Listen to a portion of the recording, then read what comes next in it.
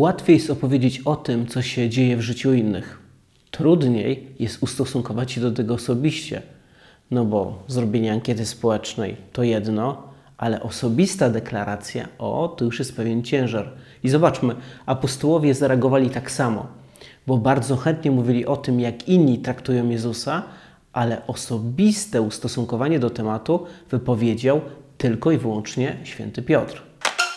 Święty Piotr pewnie został wybrany przez grono apostołów wzrokiem i zachęcony: wyjdź przed szereg, my zrobimy krok w tył i będziesz wyrazicielem zdania całej grupy.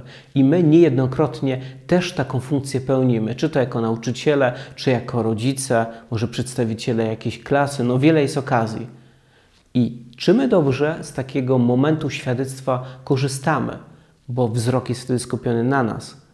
Nie mówmy, że nikt się tak naprawdę tym zdaniem nie interesuje. Nie, bo zarówno na tym, co napiszemy na Facebooku, czy nawet wypowiemy w małej grupie, ktoś kiedyś będzie bazował, będzie się na to powoływał. Więc niech nasza wiara będzie nawet w tych najmniejszych wypowiadanych przez nas słowach.